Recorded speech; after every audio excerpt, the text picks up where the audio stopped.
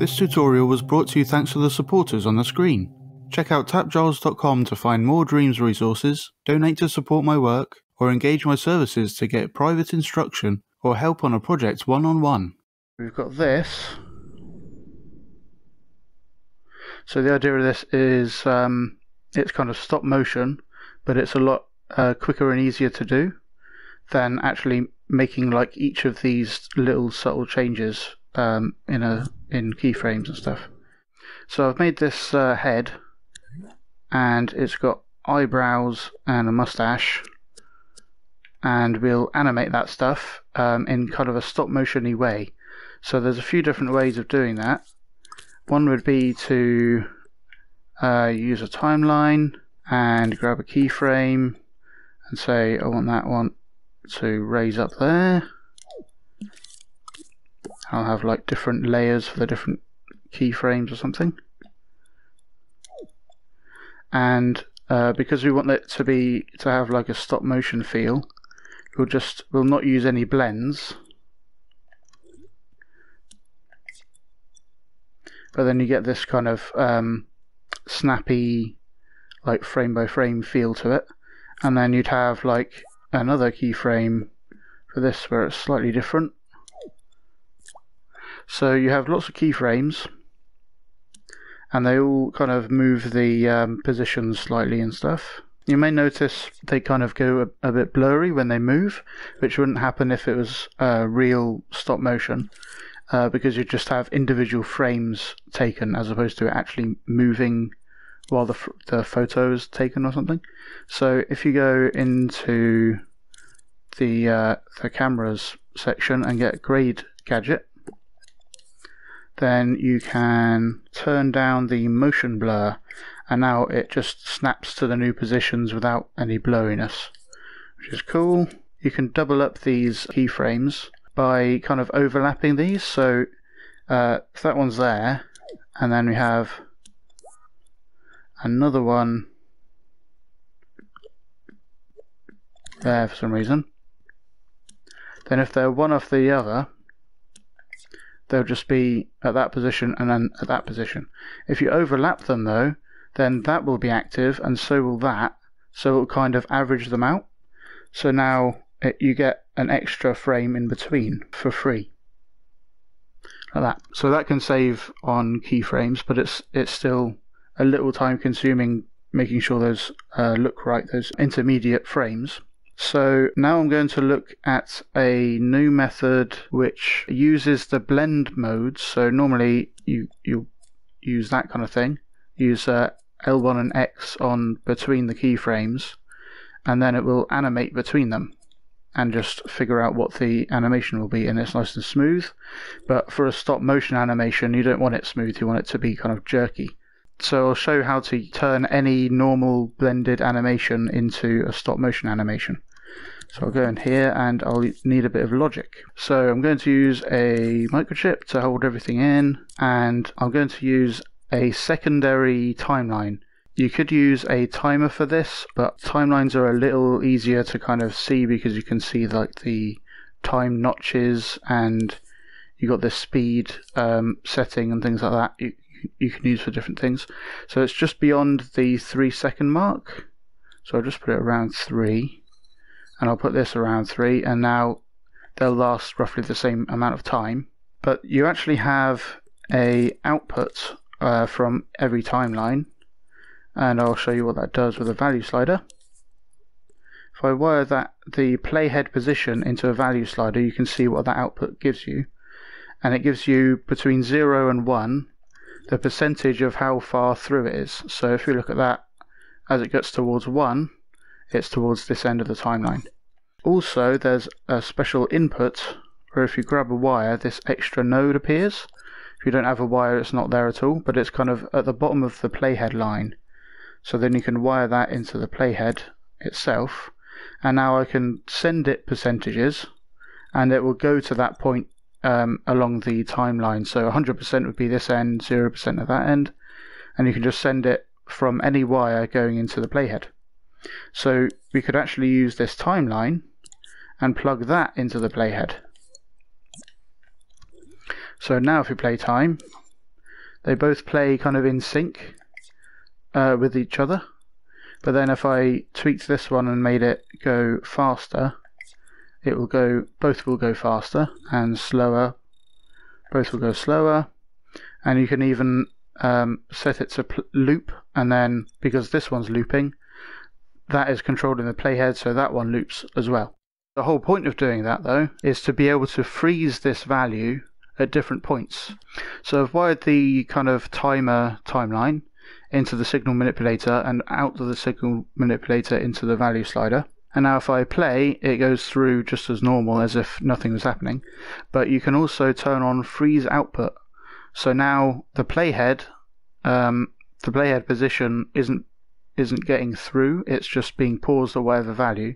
And then if you turn it off and on again, it'll use a new value. Uh, so if we put that into this timeline, then we'll be able to freeze that value of the playhead of this timeline. So I'm kind of kind of getting frozen moments um, at whatever point I froze it at. So now we can kind of time out when when this becomes frozen. We'll leave it on frozen uh, by default.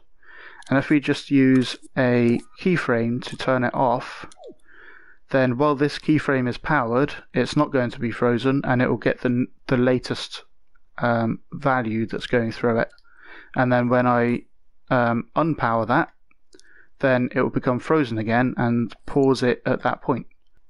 If I just use a timer for now, and I'll put um, timer finished into reset so it kind of loops.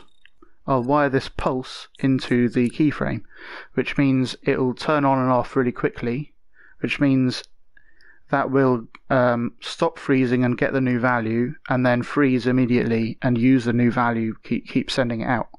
So now if we look, every time that triggers, these kind of uh, move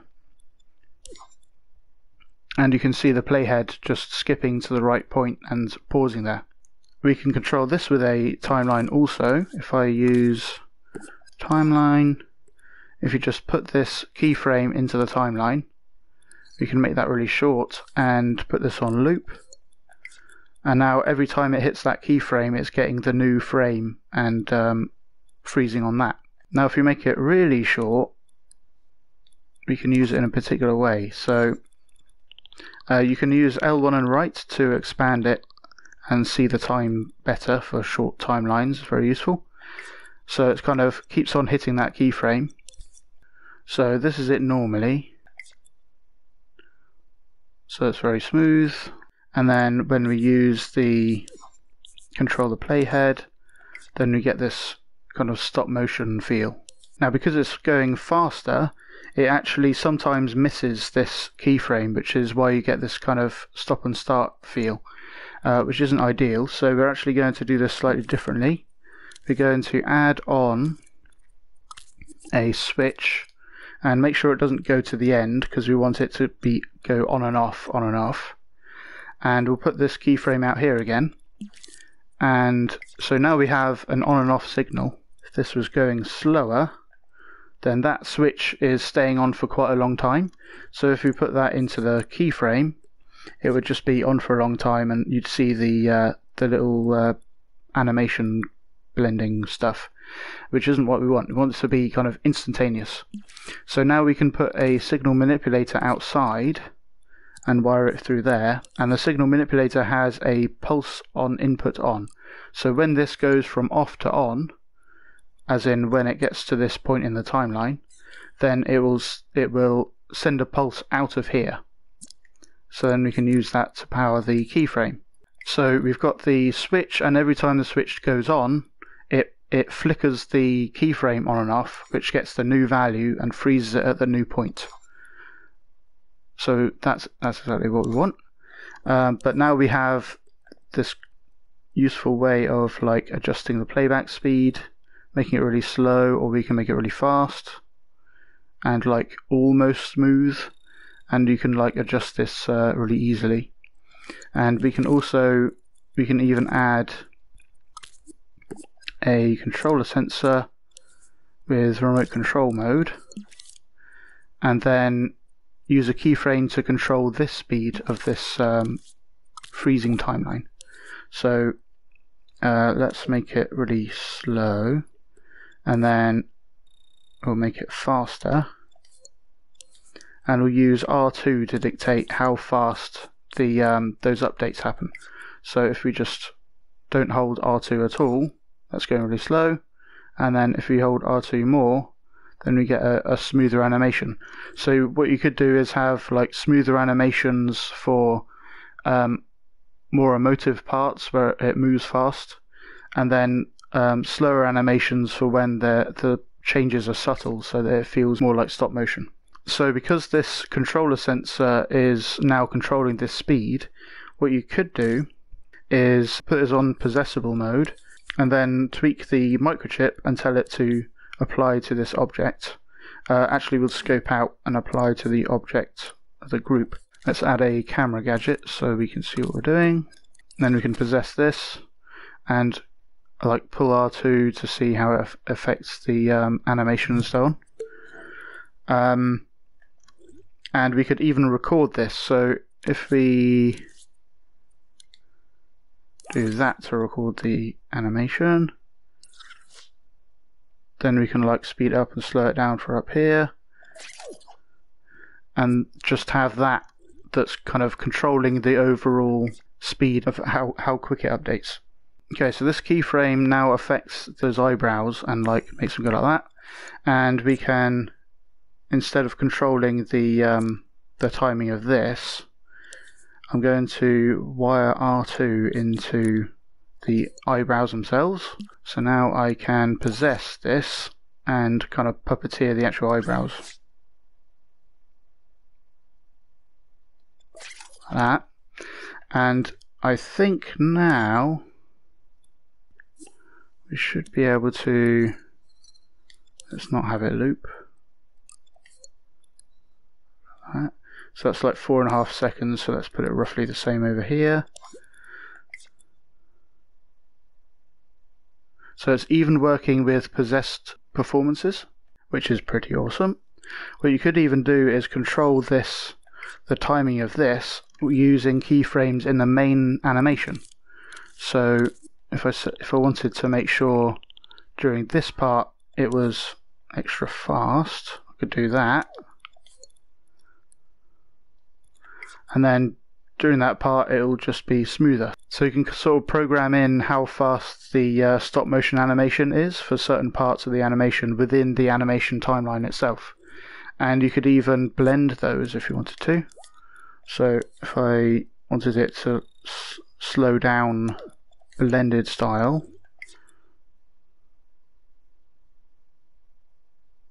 So you could do that um, simply. And you can um, combine this with stuff like replacing sculpts with other sculpts. So say, say we had this mustache and then we had another mustache that looked slightly different, kind of in the same place, but then we turn that one off. Then we could have a keyframe which turns that one on and the old one off. If we just stick that in a timeline, see how it looks animated. So I'll do that, make it loop, put the mustache twitch on there. Cool, so we'll probably want that a lot faster. If it's meant to be like him talking or something. There you go. And we'll turn that off again. So now we have this very simple um, mustache twitch while he's uh, trying to speak. And we can have, um, if we only want that to happen while he's speaking, we could turn that off. And then in the main timeline, here, use a keyframe to turn it on. And then you have this um, fine-tuned like uh, animation for while he's speaking in general, or this could be logic that randomizes blinking or something like that, anything like that.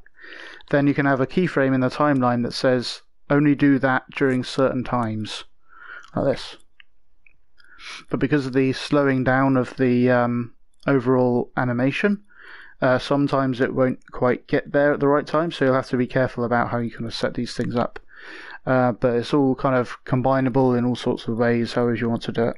So here I've done the timing for the frames, and controlled that in the timing timeline, which makes some sort of sense. So you could do that kind of thing as well, so that it isn't affected by this kind of jumping to different points. Hey, it's TAPgiles here.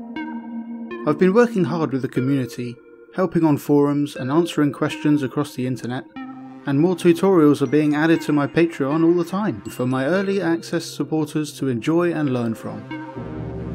Most recently, I've added videos on many aspects of animating paint and creating precision line work. A simple method of giving the player in-game directions to their next destination, a quick golf putting mechanic that's easy to get started with, and a new way of using a puppet to make a camera rig with an optional GoPro shaky cam feel to it. More advanced topics are being covered as well, such as an implementation of Conway's Game of Life that makes beautiful patterns spider across the screen, an in-world number display in the style of a cash register, word lock puzzle logic inspired by the amazing game LOK, and transform recording a new method letting you record the position and rotation of any object as it moves in the scene, along with instructions on how to use a new cinematic camera rig built on this technique. These tutorials and much much more are available now at patreon.com slash tapgiles, totaling 9 hours of video to learn from. And if you appreciate my help online, this is the perfect way to support me and keep my help coming. Sign up at patreon.com slash tapgiles for just $3 to get 9 hours of video tutorials today. Thanks for your support.